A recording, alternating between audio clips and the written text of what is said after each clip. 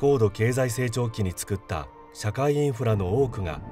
改修の時期を迎えています。また地震や台風などの自然災害が多い我が国ではいつ起こるのかわからない災害と向き合いながら生活をしていかなくてはなりません。私たちは災害が起きても被害が最小限で済むよう維持修繕に関わる事業を行い人々が安全に安心して使えるように作業の一番手として社会インフラを再起動させる仕事をしています。日常では安全はもとより人材の育成作業生産性技術革新の追求を絶えず求め言葉の違う人たちと世界のどこかで共同することも想定し多様な人が働ける環境づくりを目指します。そして誰もが働きやすい環境を目指すことは将来のロボットとの共同作業にもつながるかもしれません。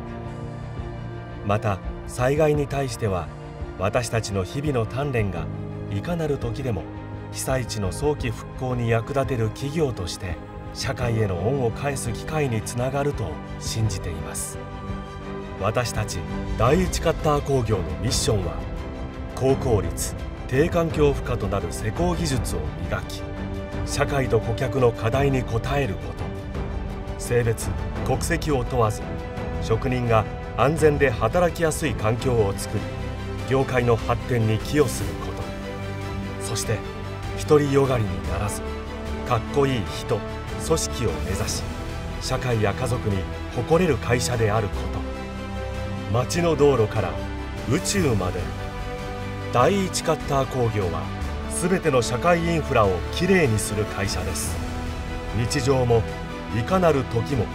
社会インフラの安全を守り安定した社会を支える。私たちはただの職人集団では止まらない。日々の仕事に確信を持たせ社会を支えることにつなげていく。世界でも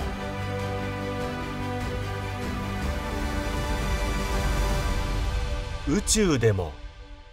第一に呼ばれる企業を目指します。